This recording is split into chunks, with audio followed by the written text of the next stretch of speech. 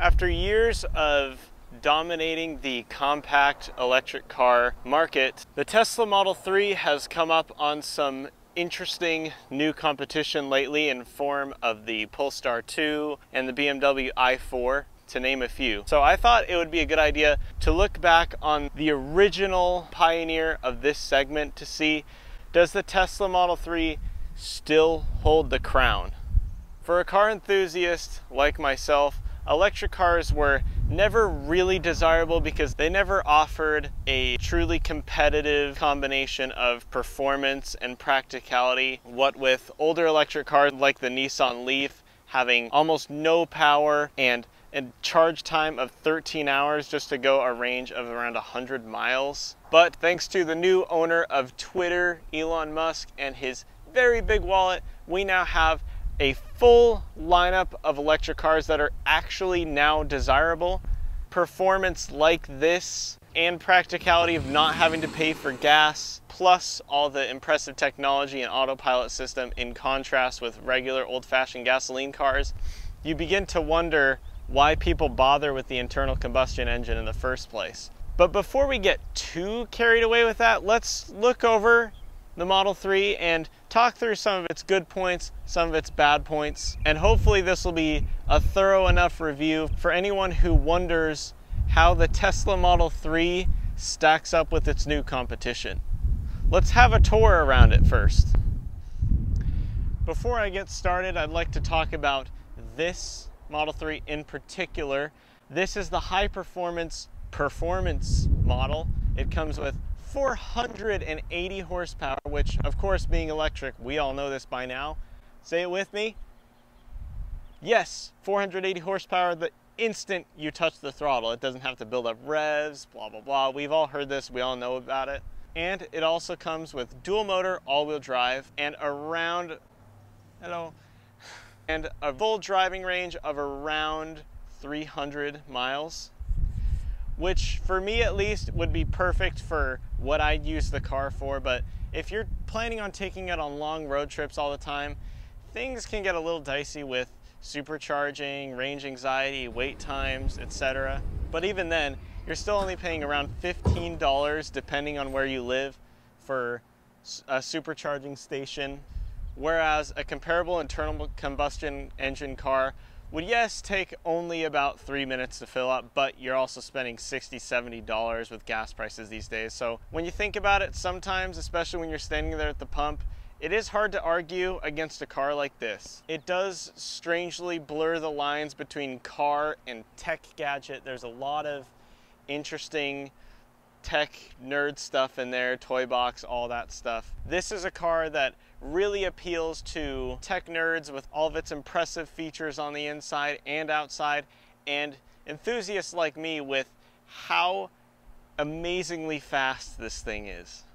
So for this, my first actual car review, I thought I'd try to make a review that appeals to everybody. First, I'm gonna talk about what this car is like to live with every day, how practical it is, all the boring stuff and then I'll show you guys some fun tech features that it has and then I'll take it out on the road and drive it and tell you why it appeals to a performance enthusiast car nerd like myself.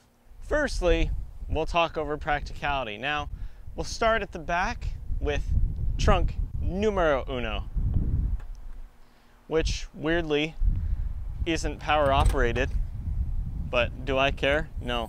You really need a power operated trunk? You really want one? But if you look inside, it's got actually a really good amount of storage for luggage and cheese and beer, whatever you want to put in here, bodies. But thanks to the car's electric power plant, there's also another trunk in this car, which is up front. Walking around the front end of the Model 3, oh no, my car's broke down again. Let's just go see what's wrong. Oh goodness, somebody left a cooler in here. There's no engine.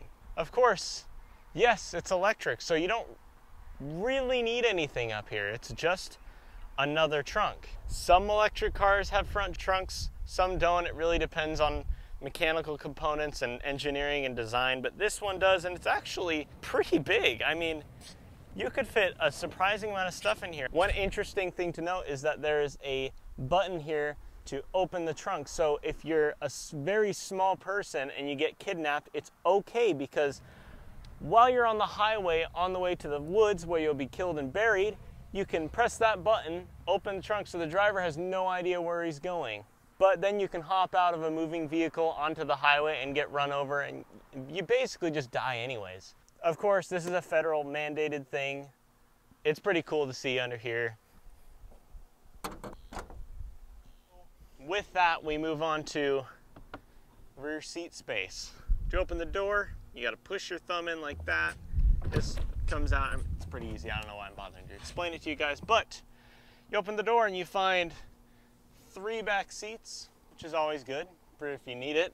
And if I hop in, there's actually a good amount of room right here. I've got decent leg room. The driver's seat's in my driving position. I'm six foot three and actually good headroom too thanks to this huge glass panel that stretches all the way back. Folding down the center armrest, there's a couple cup holders. There's vents back here, which is cool. You don't always see something like that in a car like this. You've got pockets in the rear seats, and it's really not bad. It's quite comfortable back here. But, ladies and germs, what do we think of the front seat and driving position? Let's find out.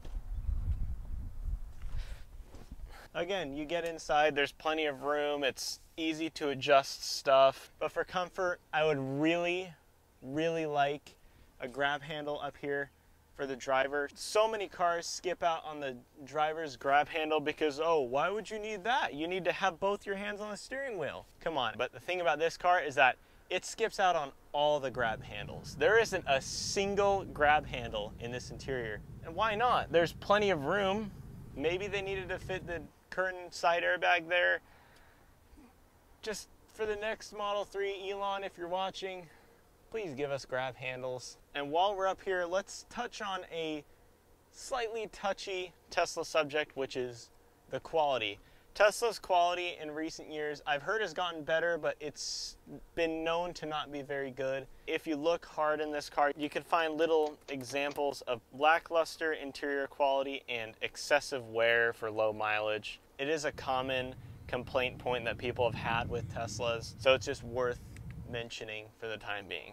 Let's move on to the tech nerd section and talk about this huge center screen up here.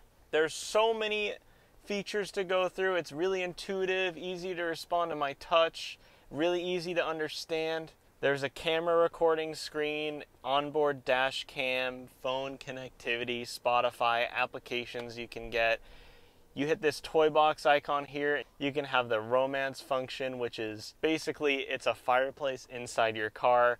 It'll show a fireplace on the screen and actually blow heat out of the vents, which is really cool.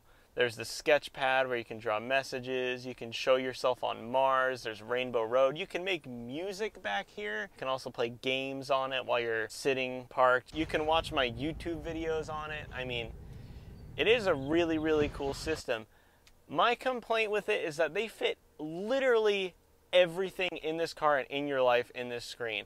The only things you can control from the wheel without touching the screen are the volume and I think the radio station, you can control the drive and the turn signals, but everything else, heated seats, the air conditioning, the lights, folding the mirrors, adjusting the steering wheel, turning on and off the headlights. I mean, there's so much that's jam packed into this center screen that I find it a bit annoying. They packed everything in this screen to give the interior design a simplistic look, and I'm sorry, but I just do not like the look of everything in front of me here, this whole dashboard is just hideous. It basically looks like they took an early, early prototype model of a car with no dashboard design at all, just a flat plane.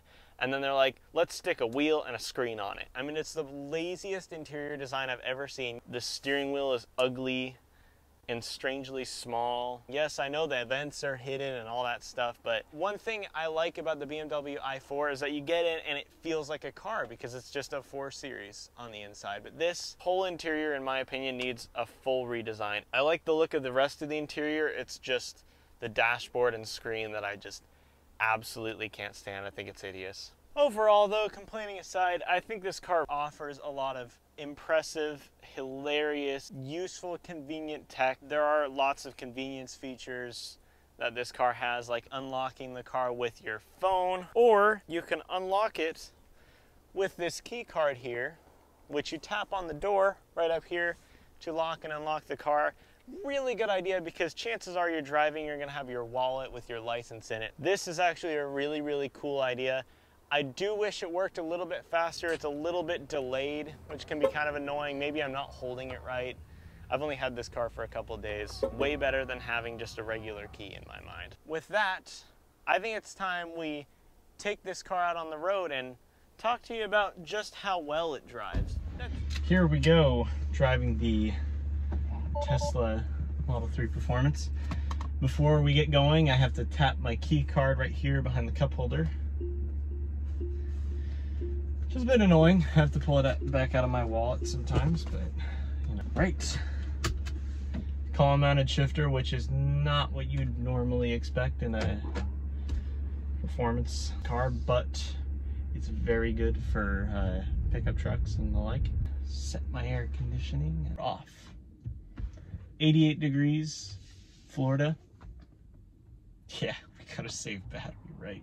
Back in drive, and goodness me, the car is moving, but I can't hear a thing. All I can hear is the sound of the that glorious Nissan Altima, which for some reason has bright pink wheels. That was disgusting. Driving by. The sound of the turn signal clicking and sweat running down my face. And we put the throttle down about halfway and launch into space.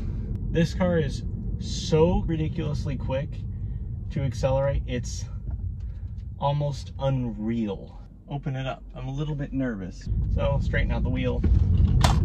And it flies! This thing is... Oh my god, this thing is so fast. Oh, this thing is just insane.